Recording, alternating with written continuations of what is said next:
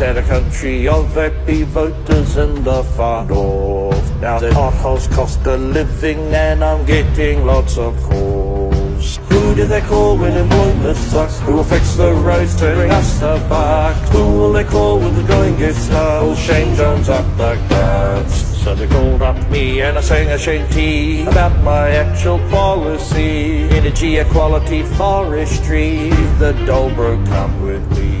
Do they call to make Northland great? Lift us up, run this straight. Who do they call when the going gets tough? Shane Jones has had enough. Charlie